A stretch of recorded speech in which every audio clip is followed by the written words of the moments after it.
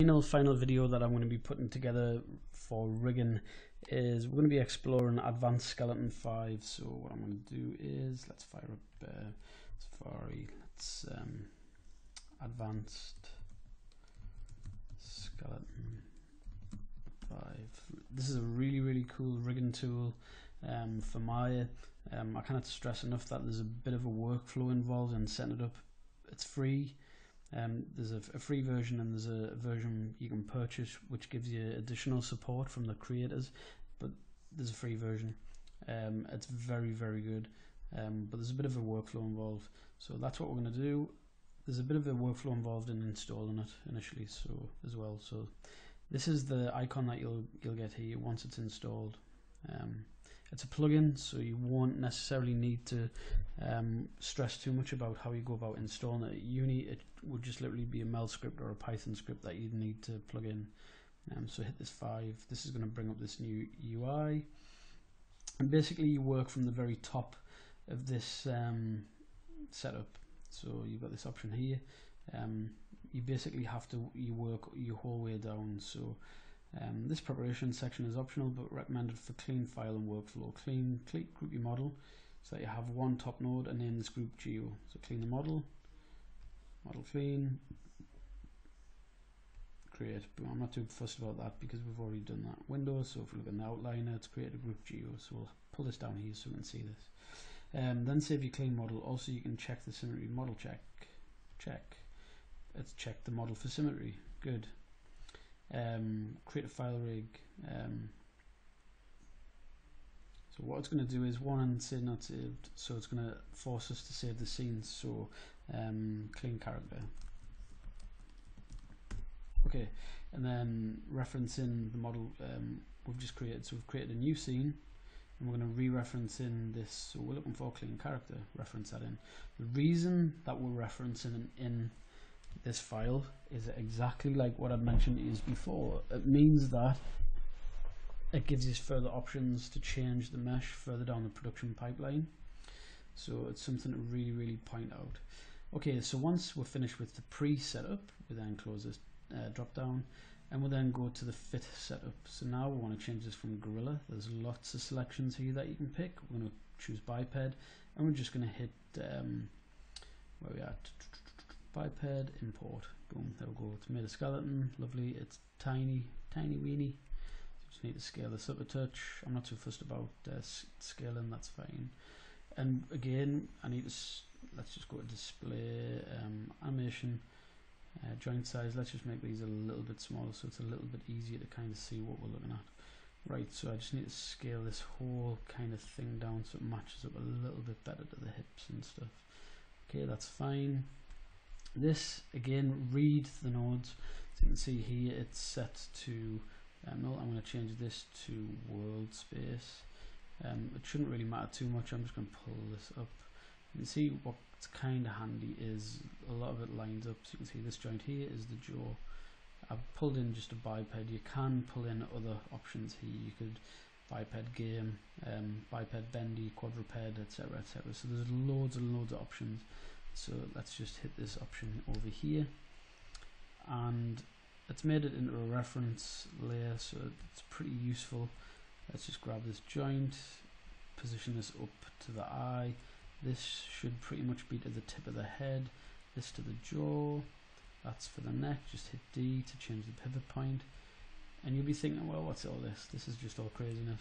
But obviously we've looked at a lot of different rigging setups now so you should have a really good understanding of the different techniques available to you in terms of rigging and setting your characters up for animation, um, for games, um, and you also should be able to see that there are a number of different options available to you.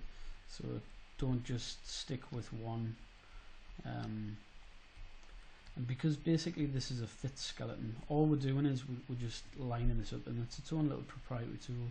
I'm not too fussed about rotating the joints. Um, all we're doing is positioning this skeleton roughly in place. I'm not really that fussed about how accurate it is.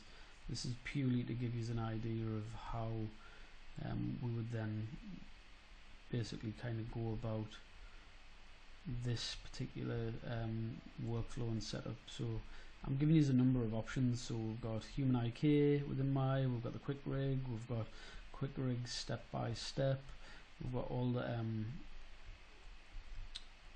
kind of automated tools that we've been looking at.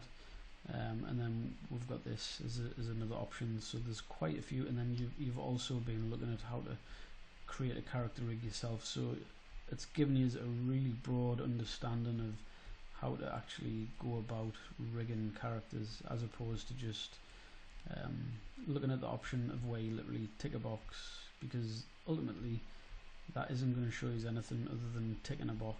It's it's not particularly useful so it's showing you that there's a there are a number of options out there. And um, when it comes to character rigging there are other options as well you could use. Is it Mixamo um, where you can get online character rigs provided for you and or again very automated. But again anything that's automated you've previously seen with the rigging tools uh, results will vary and they invariably do vary quite considerably. So it's something to bear in mind. Um, so we're just going to um, adjust this just based on what we're trying to achieve here. So I'm just going to position this a little bit more and every skeleton you can see it differs very much from the rig that um, we'd produced in terms of the hierarchy ever so slightly different. But again there's no sort of right or wrong way when it comes to character rigging. It's what works for the character. So I'm just going to position these out. D my bad that was S by accident. Pull this in we'll go position this so like this and then just grab this pull this back to the knee. And see there you've got the heel. So basically we need to create like a um, toe end pivot pinky toe big toe probably about there and then we're creating this sort of shape. Basically what this is going to do is it's going to allow us to have like a kind of foot roll effect. D again, my bad. And so yes, this will allow us to have a foot roll type effect. Right, so we're pretty happy with um, this sort of fit skeleton. Um, and then we'll just move down to the next element, which is um, auto orient. Let's just leave this. We're, we're kind of done with this now. So let's just close this out. Now we'll go to build advanced skeleton. So see it's it's doing its thing and basically what it's going to do now is it is going to build the skeleton.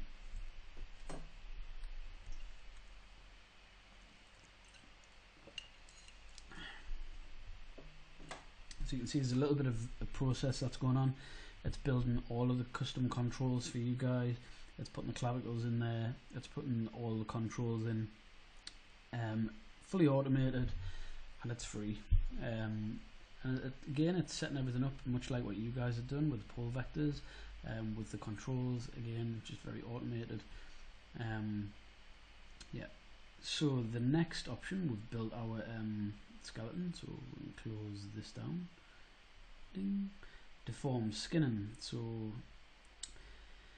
select objects to deform then select the deform joints. So so select the object to deform which is the mesh. Then plus select deform joints right? Okay so windows outliner so we need to select the mesh and then we need to select um,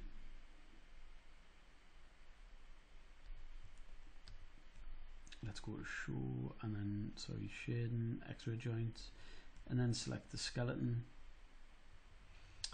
and then go to the and then set smooth bind options. So it's basically going to open up the bind options that we'll have. So again, we've been looking at um, geodesic voxel and dual quaternion, and we'll set the max influences to 4 and then hit bind skin. You can see here in deform you've got a number of options that you can use. You've got deform option 1, deform option 2, 3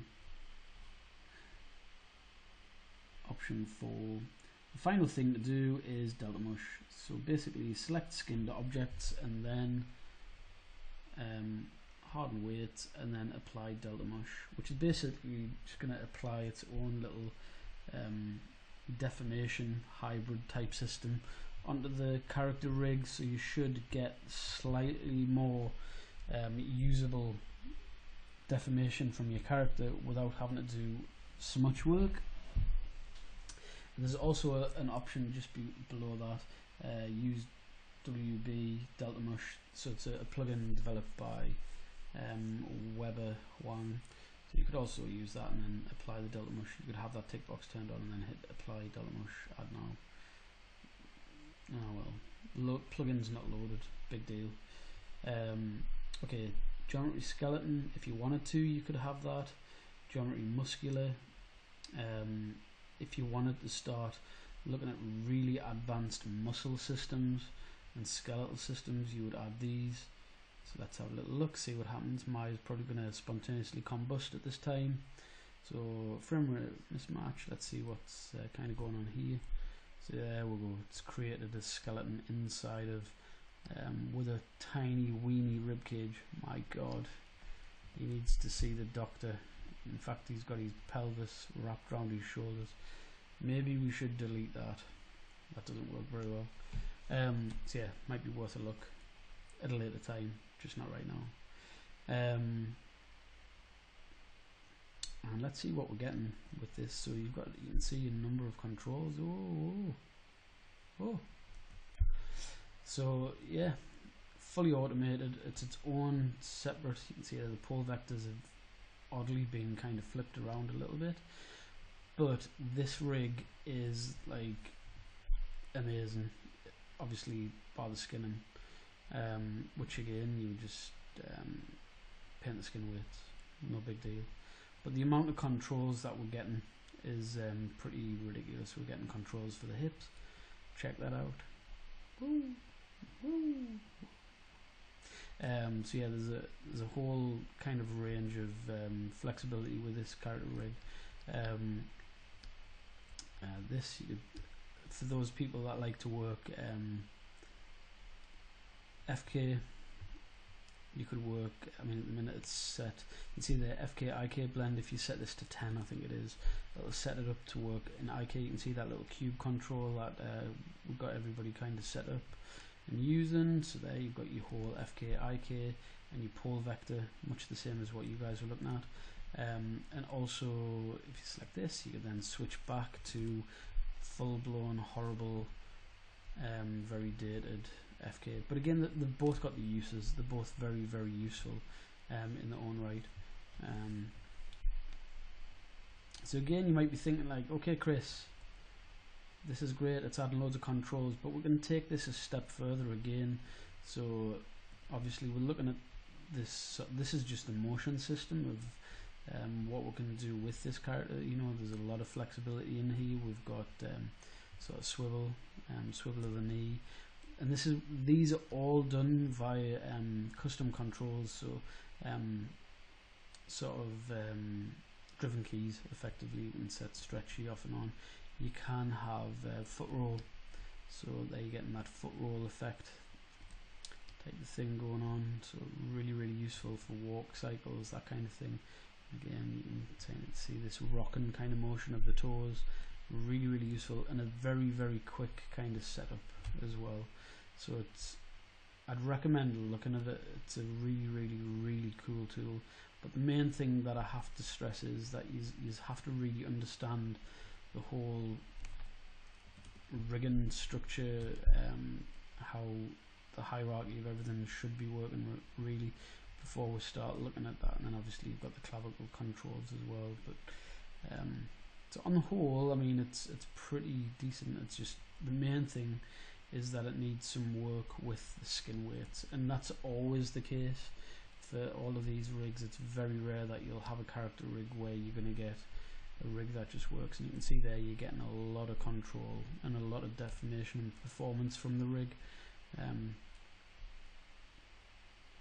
so yeah, you can see there's a, there's a whole bunch of stuff that you can do with it. The next stage with this would be looking at the facial controls and the facial controls are pretty pretty cool. So that'll be what we'll look at in the next video. So the great thing about this again is what I will do is I'll show polygons hide all this hide the joints um, and then because we should just let's just hide everything and just show curves and then we should be just um, go through each of these and kind of zero them out like any of the rotation we should be able to get this back to zero just by um, rotating these values out. There we go see there how it's starting to look a little bit more like um, a character kind of you would kind of expect it to so it's um, yeah because it's it's set up in a very advanced pretty pretty cool kind of way so